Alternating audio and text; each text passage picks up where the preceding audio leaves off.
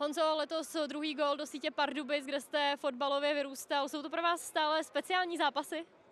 Tak samozřejmě jsou, protože tady znám spoustu lidí. Můj táta, který tady, který tady hrával, tak tady zná skoro, skoro všechny, kdo tady pracuje, a kdo tady pracují a, a ty lidi. A samozřejmě tady jsem dělal na tom hřišti, samozřejmě jsem dělal taky svoje první fotbalové kroky, takže jsem zažil ten starší stadion a, a jsem rád, že Pardubice mají takovýhle důstojný stadion.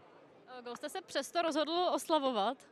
Jo, tak já jako nemám, nemám nebo ne, nedělám výjimky, jako kde mám slavit gol nebo kde nemám, já to beru prostě jako normální každý zápas a my jsme, my jsme potřebovali střelit brzo branku a aby jsme tenhle ten zápas vládli, protože se ukázali, že, že umí hrát a, a nebude snadný tady vůbec jako hrát a vyhrávat.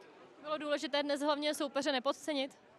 Tak byla to, byla to jedna z věcí, tak eh, samozřejmě jsme se ukazovali, kde, kde Pardubice jsou, jsou eh, dobří a, a kde naopak mají eh, slabé stránky a, a myslím si, že se nám to dařilo, ale, ale v některých fázích jsme se i trápili, že jsme nevěděli, jak máme přistupovat hráčům, ale, ale myslím si, že jsme si to pak řekli, řekli v kabině a, a podle toho to tak vypadalo.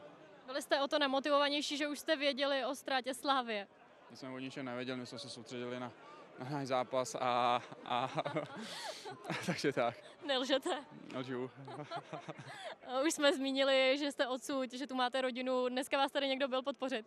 Tak mám tady, mám tady půlku rodiny, půlku rodiny mám, mám z Čínska a samozřejmě jsem si bral eh, nejvíc lísku a, a mám tady přátelé jak, jak z okolního Hradce, tak eh, babičky, dědy a, a samozřejmě táta a spoustu, spoustu lidí, kteří mě znají od malička, tak, tak samozřejmě tady bylo asi okolo 30 lidí, takže, takže jsem spokojený, že jsme hlavně vyhráli a, a že si to vezeme domů.